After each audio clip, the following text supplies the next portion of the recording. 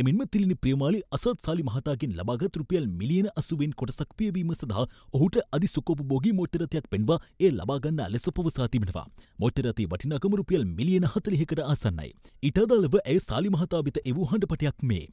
මං ඔයාට එවන document ඔක්කොගේම photo ටිකක් දානවා. ෆයිල් එකත් මගේ චෙෆ් ඔයා අඳුරන ඔයාව අපේ ගෙදර කෑම හදන ළමයා එයාගේ අතේ එවන්න. එසේ පැවසුවද තිල්ලි ප්‍රේමාලි එම රථය අසත් සලි මහතාට ලබාදීන් හැ. පසුව වාර්තා වුණේ තිලිනිගේ අනියම් සැමියා බව පවසන ඉසුරු බන්ටාර එම රථය වෙනත් පුද්ගලයෙකුට විකුණා ඇති බවයි. අවසානයේදී තිලිනි ප්‍රේමාලිට මුදල් පියවීමට නොහැකි වූ තැන ඇය අසත් සාලි මහතා වෙත යොමු කළ හඬපටයයි මේ.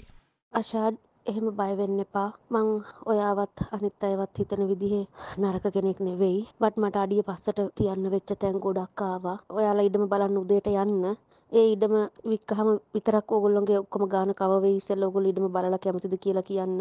මගේ ඔළුවේ තියෙන ප්‍රෙෂර් එක ගියාට පස්සේ ඇත්තටම සොරි කියන්න ඕනි කියන කම තිබුණා. ආෂාඩ් මම දන්නේ නැති තරම් ගොඩක් දුක් වුණා. මං හිතන්නේ ඒක ලොකු නරක කාලයක් වෙන්නේ නැති ඒත් හැම යන පන්සලකටම හැම යන මොහොතකටම මේ මේ ණය වලින් මාව නිදහස් කරන්න කියලා ඉල්ලුවේ.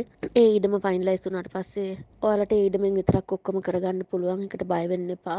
හැමෝගෙම දුර්වලකම් තියෙනවා ආෂාඩ්. හැමදේම මම මිනිස්සුන්ට ගොඩාක් කරා ආෂාඩ්. මිනිස්සුන්ට ගොඩාක් රැවටුණා. හරි හිත හොඳකම නිසා මගේ වකුගඩු ටික විතරයි මම රැකගත්තේ නොදී ඒවා බඩවල් කපලා ගන්න ඕනි හින්දා. මං හැපි ප්‍රෙෂර් එක දරා ගන්න අමාරුයි ආෂාඩ් එන. මාව ට්‍රස් කරන්න මෙච්චර මාස තුනක් ට්‍රස් කරා වගේ ඉක්මනට මේක විසඳෙයි. හම් සෝරි මචං. හැමදේටම සෝරි. අපි ඉක්මනින්ම හම්බ වෙලා මේව විසඳගමු. ඕකේ. අල්ලඩ කාවල්. නමුත් ඇය පැවසූ පරිදි ඉඩමක් නොවූ බවයි අසත්සාලි මහතා පැවසුවේ.